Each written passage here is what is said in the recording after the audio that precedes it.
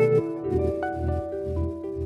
Missing seeing your favorite Bangtan boys, aka BTS, in action? Well, it turns out that the seven member K pop group has just announced a treat for its global fan base. In an announcement by Big Hit Entertainment on April 9, 2020, it was revealed that BTS will be hosting an online concert weekend called Bang Bang Con on BTS's Bangtan TV YouTube channel. The marathon is set to start at 12 noon KST on April 18, 2020, that is Friday, April 17 at 11 p.m. EST, and run for two whole days. On the first day, the channel will stream the best of BTS's concerts beginning with 2015 BTS Live or Most Beautiful Moment in Life on stage and then going on to 2016 BTS Live Most Beautiful Moment in Life on stage epilogue this will be followed up by BTS 2014 Live Trilogy Episode 2, The Red Bullet 2014 Memories, and finish with BTS Third Muster from 2016. On the second day, the BTS Bang Bang Con will screen the 2017 BTS Live Trilogy Episode 3,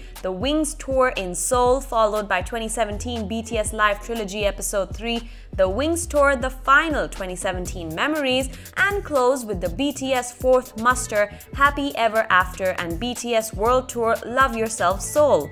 Basically, over the two-day weekend, armies all around the world will be able to condense BTS's entire career trajectory through their concerts and relive their journey till now.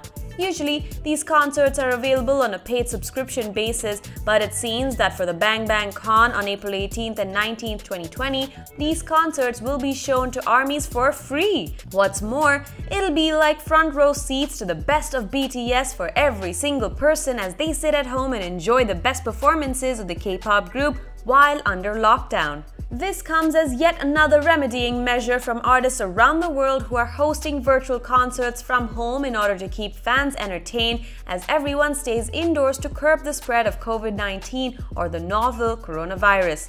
BTS previously performed their song Boy with Luv on James Corden's Home Fest, which was a one hour concert special with the late night talk show host chatting with some of the country's favorite musical artists and getting them to perform a song for viewers watching at home.